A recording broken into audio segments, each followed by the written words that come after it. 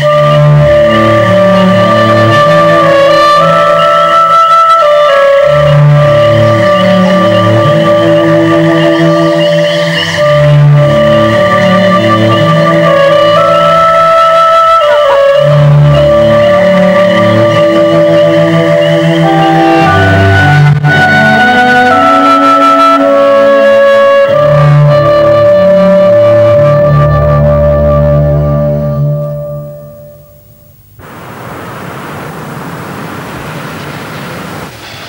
my books, ever since I wrote my first one 43 years ago on the moth-eaten couch of a German boarding house, are suppressed in the country of my birth.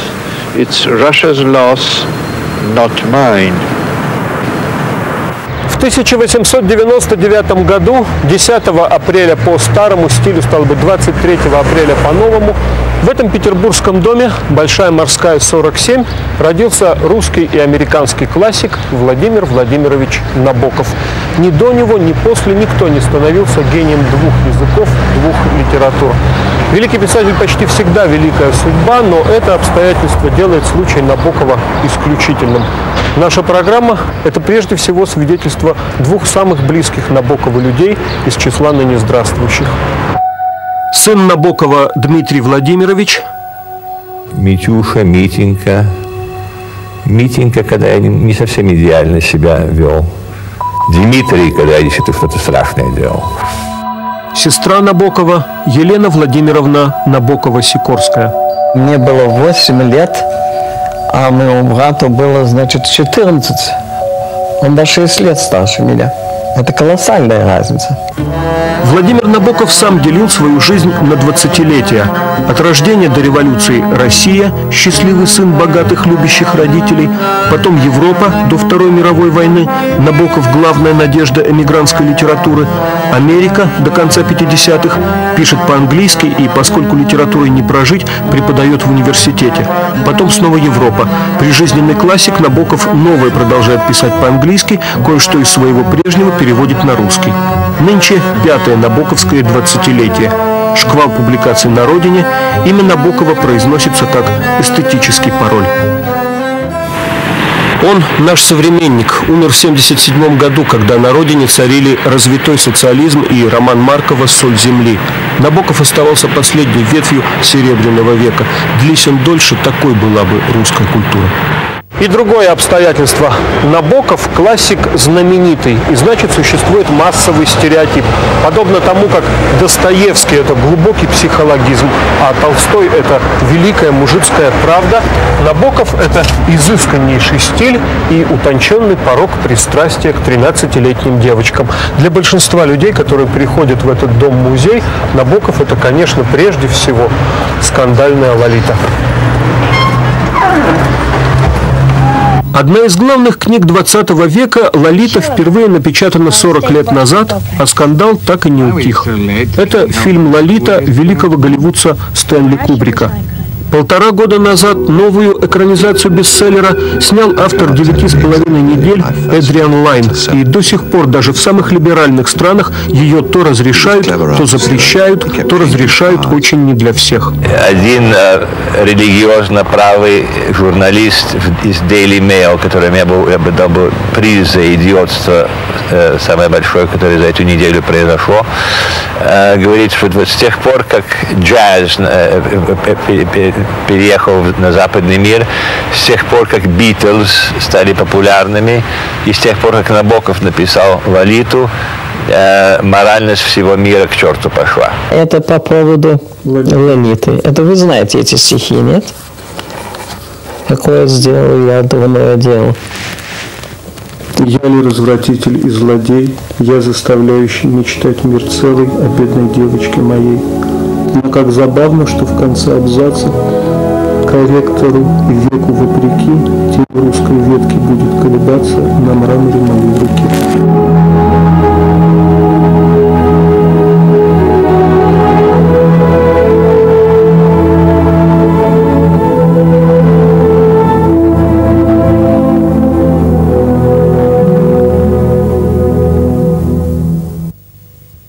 На подлинном столе набоковского библиотекаря вот это объем, написанный Набоковым по-русски. Здесь 9 романов. А этот объем, здесь 7 романов Набокова, американского писателя, и еще лекции и другие работы, выполненные им в качестве американского профессора русской литературы. И посередине произведения, дважды написанные им Сначала, причем по-английски, а потом по-русски. Воспоминания о детстве и юности, о жизни в этом доме и о жизни в имении «Другие берега», по-английски это называлось «Память говори», и «Лолита». Немного детский вопрос. Есть у вас любимая книга вашего отца? Вопрос совсем не детский, а очень взрослый, потому что на него очень трудно ответить. Эм, детский мой ответ будет – это та книга, которую я в данный момент читаю или в данный момент перевожу. Такой э, разрастается энтузиазм. И каждый раз, что перечитываю, нахожу столько нового, что в данный момент это становится моей любимой книгой. Но в абсолютном смысле, если выбирать среди всех романов, например, может быть, Pale Fire, Бледный огонь, может быть, Ада – может быть, сама Лолита, которую папа сказал, что больше всего любит. Самое замечательное из всех книг, которые мой брат написал, это «Дар». Я считаю, что это э, исключительный шедевр, это «Дар». Это ваша любимая книга, вы ее считаете лучшей? О, да. Абсолютно. Совершенно. Абсолютно. Не Лолиту и не Анну. Нет, нет, нет, нет, нет. В Корнуэльском университете в США русскому языку учили плохо, и Набоков мучился, преподавая русскую литературу студентам, которые оригиналы читали по слогам. Набоков переводит на английский слово о полку Игореве, Евгения Онегина и пишет огромный том комментариев к Онегину, растолковывая американскому юношеству, что такое вред от брусничной воды. Я как-то спрашиваю его, что вы взяли в библиотеке? А он говорит, это Эдинбургское обозрение 1830-х годов. Я тоже читал эти журналы и говорю, там интересные статьи. А Набоков отвечает, меня не статьи интересуют, а реклама. Набокову тогда для перевода Евгения Онегина требовались английские расхожие выражения пушкинской поры. На первом этаже дома на Большой Морской, теперь музейном, можно вообразить уклад прежней жизни, особенно если смотреть не под ноги, а вверх. Здесь были библиотека, гостиная, столовая и так называемая комитетская. В ней собиралось руководство партии кадетов. Пронзительное набоковское стихотворение 27 года. Бывают ночи, только лягу, в Россию поплывет кровать, и вот ведут меня к оврагу, ведут к оврагу убивать. Он ведь не был белогвардейцем, который с оружием в руках боролся против советской власти. Но ощущение такое же, как у героев булгаковского бега. В Россию плывешь? Ну, плыви, плыви. Только тебе дороги там будет от пристани до первой стенки. У Набокова стихотворение заканчивается «Но сердце, как бы ты хотела, чтобы это вправду было так. Россия, звезды, ночь расстрела и весь в черемухе овраг». В их семье только Елена Владимировна решилась посетить Советский Союз, или, как они говорили, Россию под большевиками. Она приехала в Ленинград по приглашению семьи советских дипломатов, с которыми познакомилась в Женеве. Остановилась в Астории, название знакомое с детства и идти близко.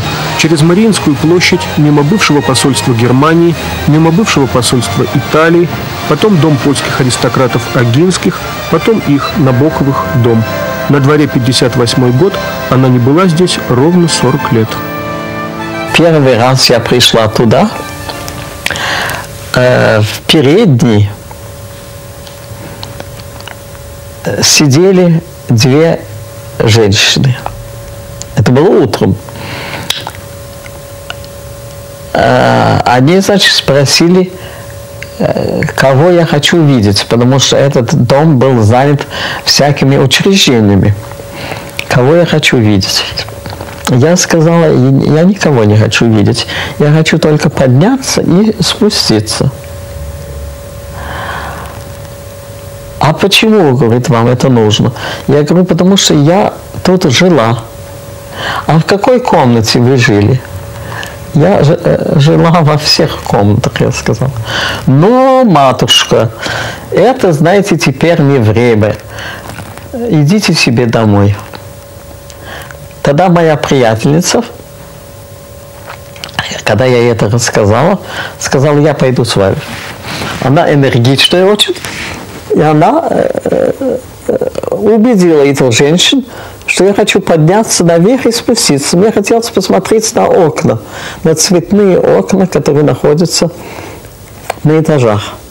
Поднялась на самый верх, и потом спустилась вниз. А там была такая советская контора, и там просто работали да. люди? Да, да, да, да. Работали какие-то люди разные, там были э, конторы. Вы знаете, что там была одна из контор, которая там была? Там был цензурный комитет. Ленинградский областной, по иронии судьбы. Смешно. Который в том числе и не разрешал печатать Владимира Владимировича. Цензурный комитет обллит занимал первый этаж здания. На втором этаже размещалось управление бытового обслуживания населения. И в будуаре матери, вот ее вензель ЕН, Елена Набокова, сидел начальник управления, то есть директор всех ленинградских бань и прачечных, умывальников начальник и мочалок командир. У Набокова есть прелестное описание этого выступа над улицей, фонарика, когда он маленький стоит здесь и кажется, что это место корзина воздушного шара. За окном падают вниз снежинки, от этого кажется, что шар поднимается вверх. А эти переплетения рам – это снасти воздушного шара, его веревки, сквозь которые видно все вокруг. Я помню все комнаты. Я помню, где все стояло. Я э, могла бы просто изобразить это все, если бы я была бы художником. Могла бы просто нарисовать, скажем, кабинет моего отца, э, громадный стол, на котором стояла фотография моей матери, э, фотография Бакста. Художник Бакст был такой очень известный художник. Оговорка. Портрет, разумеется, рисованный. Елена Владимировна имеет в виду, что у нее фоторепродукция. Весь второй этаж Набоковского дома был родительским. Это спальня матери. Вот хорошо видны границы Алькова. У Набокова в его английском варианте воспоминаний в память говори есть указание «Я родился возле самого сейфа». Вот тут стояла кровать, а это сейф, к которому швейцар Устин в 17 году привел представителей восставшего народа забирать мамины драгоценности. А ваша комната? Наша комната была на самом верху, на самом верхнем этаже. Эм, э, комната моя и моей сестры Ольги. Э, значит, у нас была большая комната и большая так называемая игральня. Игральня это называлась. То есть э, комната, где были наши столы и диван, и, в общем, все, чем мы занимались. Даже висела таблица слов на ять. Третий этаж, на котором сестры Набокова учили дореволюционную орфографию, перестроен больше всего. Здесь редакция газеты «Невское время». Прежде комнаты Сергея, Владимира, игральная и спальня девочек, комната гувернанток. В 1961 году, когда Набоков снова станет человеком состоятельным, он, переехав в Швейцарию и выбирая подобающий образ жизни, поселится в лучшей гостинице на Женевском озере – Монтрё Палас. Апартаменты на шестом этаже флигельной части здания. Теперь там пять отдельных номеров. Весь этот этаж был ваш? Почти весь. Последняя квартира нет. Коридор вообще не существовал? Коридор существовал, но он был длиннее. Э, у нас было, был внутренний проход через всю квартиру. Здесь была очень скромненькая и маленькая комнатка с кроватью гораздо меньше, чем это, с знаменитым пюпитром, за которым папа начинал свой писательский день стоя. Этот павильон был всегда, в нем все происходило, симфонические концерты, и рядом с ним бассейн, у которого папа очень часто писал. Сидел на фейзлонге в коротких штанах и писал. Потом, значит, была э, в 60 третья комната, где мама спала, мама жива, э, со своими любимыми книгами и картинами. Э, это в свое время, в наше время, было, был 64-м номером, теперь стал 65-м. И э, треть этой комнаты, значит, эта часть, это была кухня, немножко старомодная, а тут была, значит, гостиная, Здесь э, красивый такой бракатный диван стоял, потом в свое время стоял стол для писания для мамы, кресла стояли и круглый обеденный стол более или менее здесь, я бы сказал. Построенный в начале века Монтре Палас – отель набоковского детства. Частью той прежней жизни были регулярные поездки всей семьей в Европу. За границу э, наши ездили э, всегда в Биарриц. Это во Франции, на юге Франции. Э, и э, тут был страшный спор у меня с моим братом, когда я ему сказала, что я тоже была в Биаррице. Он говорил, нет, ты не могла быть там. Я говорю, а я, а я тебе говорю, что я была. Я помню до сих пор, подумайте, от, с трех лет я помню столовую, стоит мой отец в доме, который они снимали в Биаррице, стоит мой отец, берет фиги, которые стояли на столе, и бросает их вниз музыкантам, которые пришли не для нас, а вообще они обходили дома, музыканты в красных беретах, и мой отец им бросал фиги. В Монтре-Паласе Набоков прожил целых 16 лет. Холлы остались прежними, а прочим, пострадавшим при реконструкции, теперь сильно жалеют.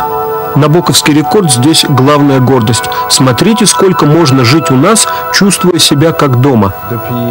С тех пор, как я стал директором, мы делаем все, чтобы сохранить нашу историю. Мы теперь как бы идем вспять. Пример Набокова – огромная ценность, и мы хотим оставить дух Паласа эпохи модерна. Здесь был балкон, которым мои родители много пользовались. Папа особенно там и писал, и думал, и смотрел, и с мамой в шахматы играл. Слава богу, балкон уцелел э, в, в том же виде, в котором был. Там в свое время было три чудных теннисных корта глиняных, которые заменили одним фальшивым, чтобы создать паркинг. Поразительно похожий наследник Дмитрий Набоков сейчас как раз в том возрасте, когда его отец переехал сюда. Поза и взгляд на, мутный на озеро. Дом на Большой Морской перестраивали несколько раз. Он соответствовал и Екатерининской эпохе, и Николаевской.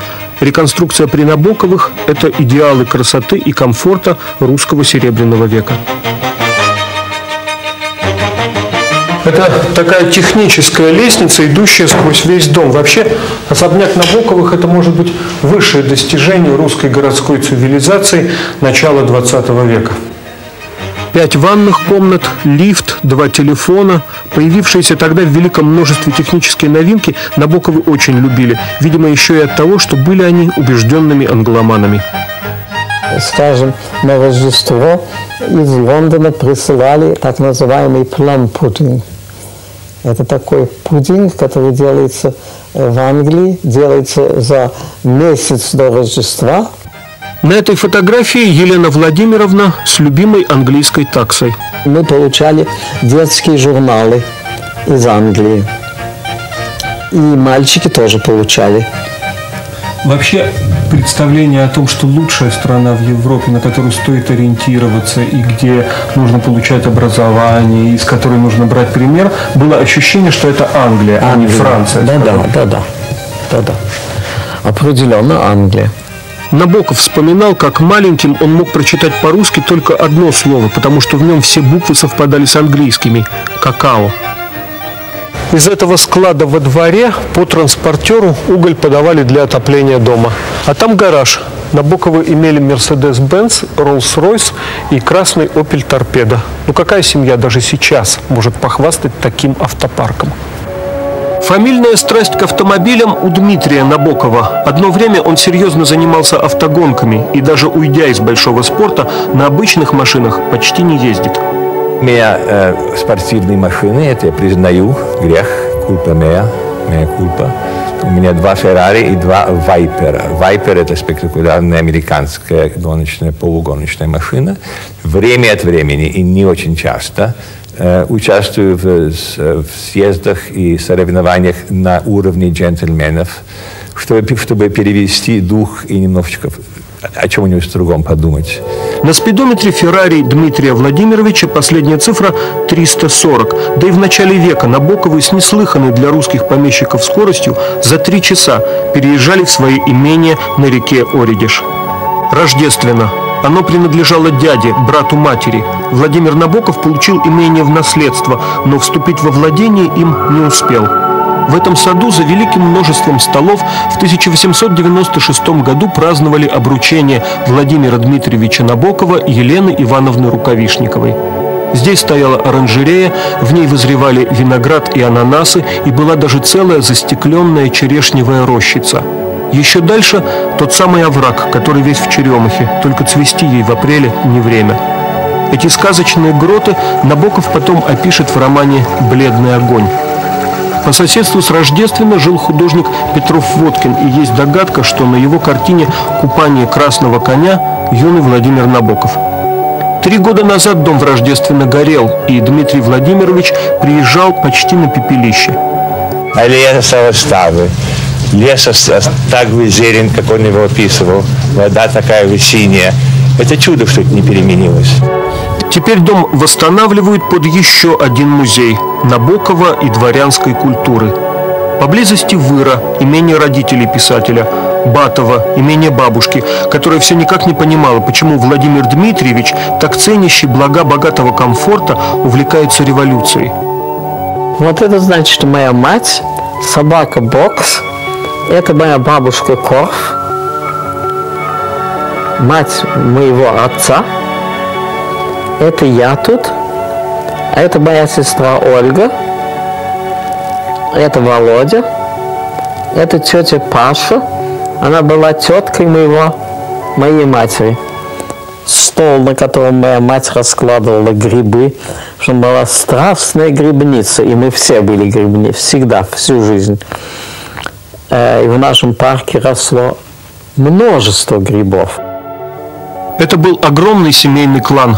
У пятерых подраставших Набоковых было два десятка двоюродных братьев и сестер, и детство в имении Елена Владимировна вспоминает по замечательным играм, конечно же, английским. По-английски это называется пазл. Пазл.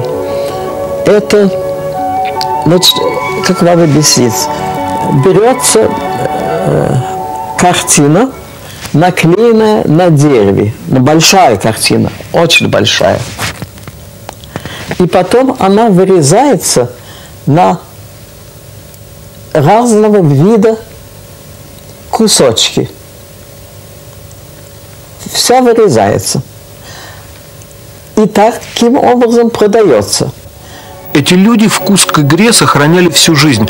Владимир Набоков обожал строить с сыном детские железные дороги. У Дмитрия Владимировича и сейчас великолепная коллекция моделей. Вагончики из кухни доставляют в садик напитки и закуски. Пересыпанные каламбурами на трех языках распорядок дня и правила поведения в Монтрё-Паласе. 68-летний Владимир Набоков посылает этот листочек сестре. Он ждет ее к себе в гости. Я пришла к нему и, э, в гостиницу. Значит, мы сидели в э, гостиной. И он говорит, да, пожалуйста, не, не, не ходи э, рядом в спальню мою. Не ходи. Ну, конечно, я пошла, ясно. были спущены занавески, и из-под занавесок весок торчали дамские туфли. То есть он хотел изобразить, что у него там была какая-то дама. Но туфли были веры, конечно. Просто представлены пустые. Только кончики. За занавеской. От усадьбы Набоковых в Выре толком сохранился только барский ледник. Сам дом стоял вот там, его сожгли немцы в войну, уходя. Здесь прошло самое счастливое детство в истории мировой литературы. Володя Набоков – единственное в своем роде сочетание Илюши Обломова и Андрюши Штольца.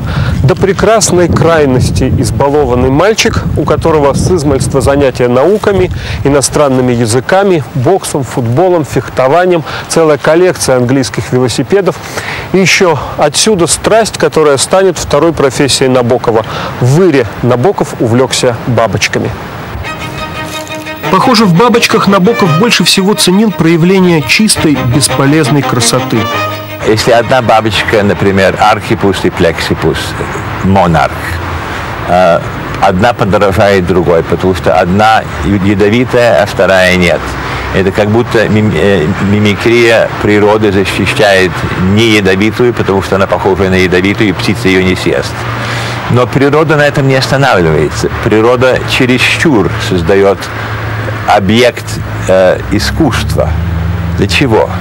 Для радости человека его глаз.